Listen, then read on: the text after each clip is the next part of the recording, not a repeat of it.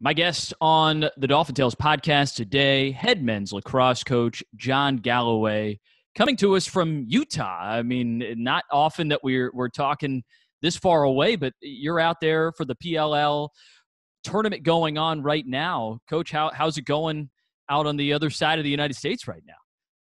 It's going well. It's uh, it's an experience, that's for sure. You know, I think we're just getting used to our surroundings and uh, recognizing that this is the only way for for live sports to be happening in this summer. And uh, I think all of us as players are just excited and thrilled that we were able to to have a season. So uh, it's been a ride. We've learned a lot. I, I give I give credit to our league and uh, the safety procedures that they've put in place to make sure that we can get the, these games going. And after three rounds of testing, it's uh, you know we, we feel as safe as we possibly could be and, and ready to play. It's been fascinating just to see how professional sports have tried to navigate this throughout the course of the last several months. And uh, for you all, you've gone for the bubble concept as well. I, I know it's a little bit apples to oranges here, but do you think that there's anything you've seen from the bubble concept that you think can be applied to, to college sports as they try to come back here starting hopefully in the fall, if not the winter?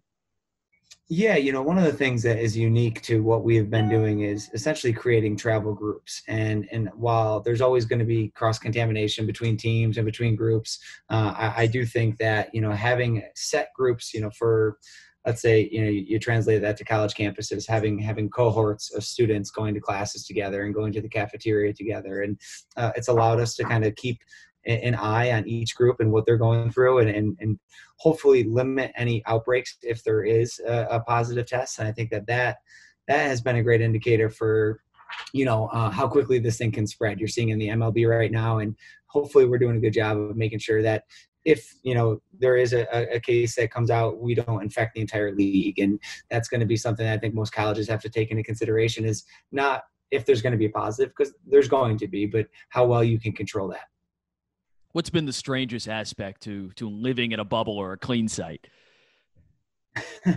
you know, there's a lot of unique challenges. I, I do think that it, just I, I, think the natural social interaction that you have with your teammates and your players, uh, you know, walking down the hallway wearing a mask, your natural reaction is to to give a guy a hug or, or a high five, and uh, you're just limited to, to, your interactions now. So that's that's a challenge. Um, beyond that, once you're once you feel safe, once you feel contained, a lot of it does become normal.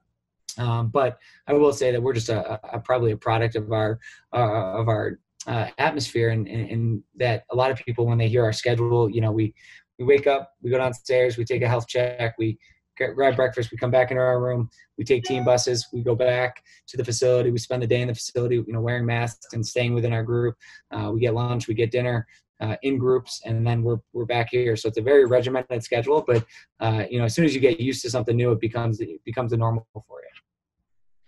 The last time we caught up was man months ago now the very beginning of all this stuff happening the season had just ended uh, we were talking about how you had dealt with communicating with your team about how the, the season wouldn't be continuing unfortunately uh, that feels like it was two, three years ago at this point. Where, uh, how have you handled the last several months, staying in contact with your team, addressing those that are coming back, those that aren't coming back, and and sort of the the nature of just trying to stay connected through through these trying times? Yeah, and there, there's no perfect blueprint for what we've all been going through, and, and how you communicate with your players has been one of the most important aspects of our jobs. And we spent really the, the, the remainder of the spring as well as early summer having a chance to just get to know our guys on a different level. We didn't talk a lot of lacrosse. Uh, we, we sectioned our meetings into specific thoughts. You know, it was a little bit more team building. Uh, some of it was just education. You know, obviously everything going on in the world provided us with our platform to educate our guys, and and us as coaches aren't always prepared to provide that knowledge. So what we did was we spent a lot of time bringing other people into our, our Zoom calls with our team and allowing our guys to ask questions, but you know more so to educate themselves on everything that's going on. Obviously, with the social injustice in the world, uh, just the the unfairness of, of, what's happening in their lives. I think as 18 to 22 year olds, we would all admit that we would probably feel slighted by what's going on right now in our world. So you know, explaining to them that this is this is a level playing field for all of us.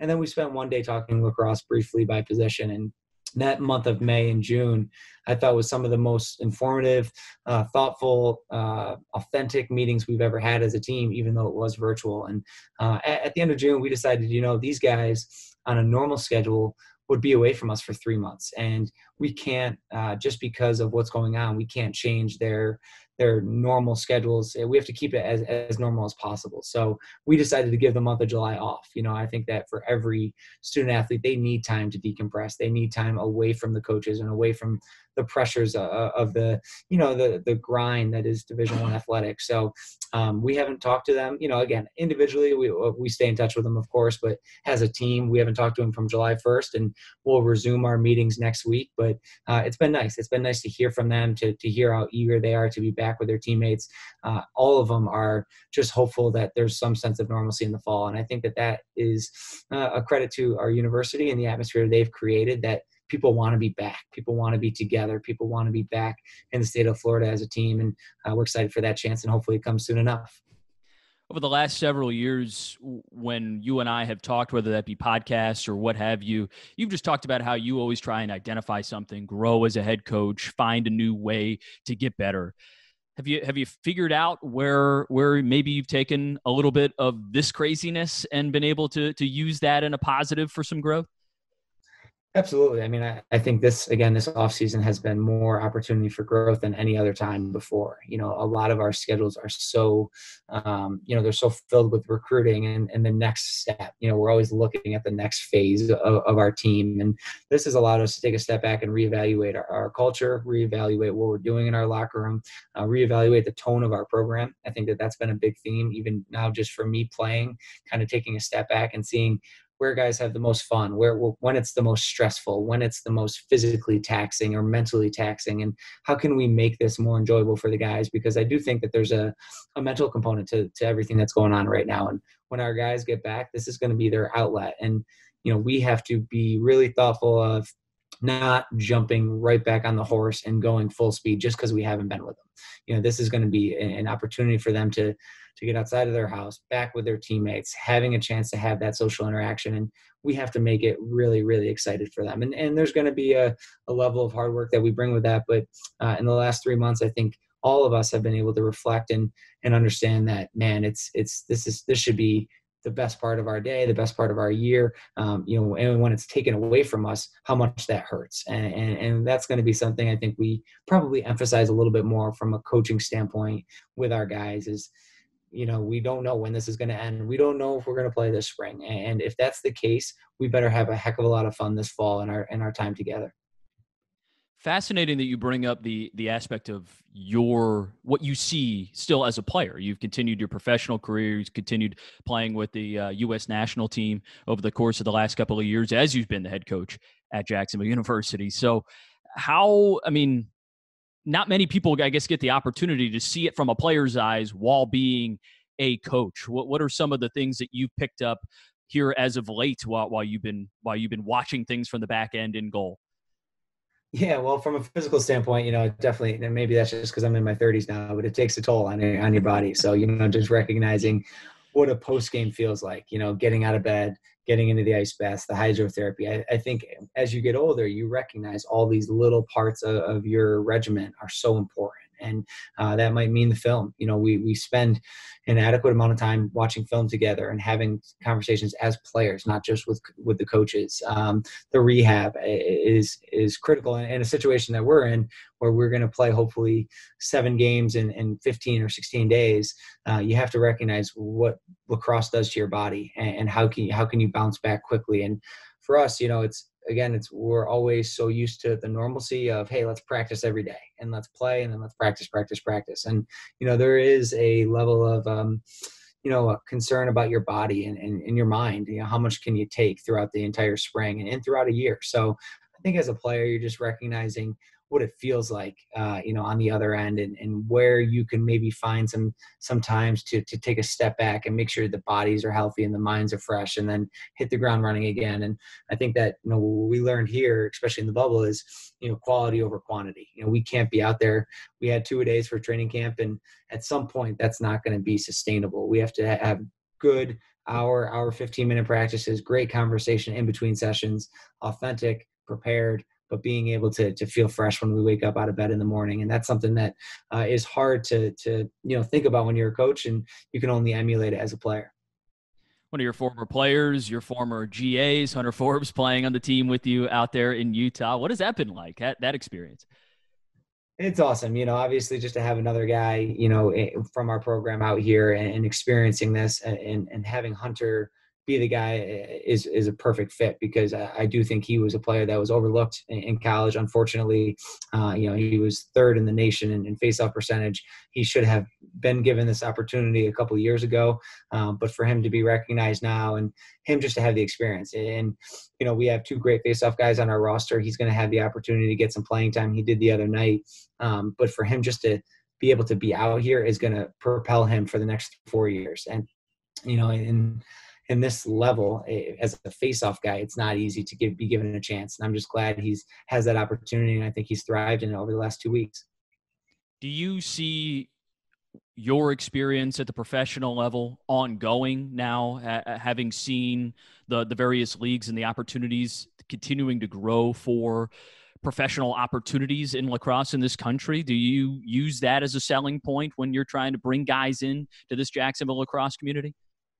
Yeah, I mean, you know, you look at the last two weeks. I, I sent a note to our SID, uh, Matt Moretti, and, and, and our director of ops, Danielle, and I you know, just as we were starting to work on our social media promotions, you know, at one point we had four guys in, in our program playing professional lacrosse on the same day on ESPN and, and NBC Sports.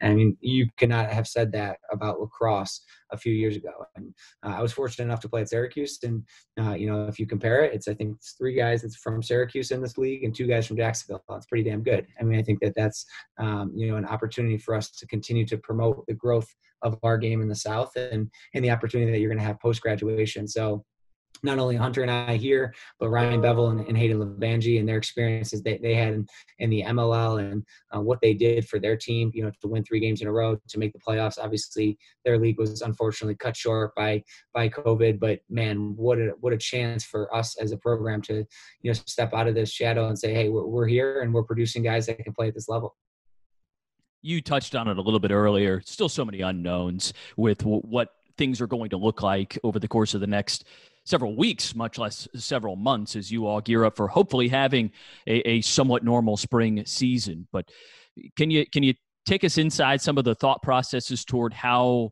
you're hoping to maximize the opportunities with your players, regardless of what things look like as far as scheduling and playing and things of that nature?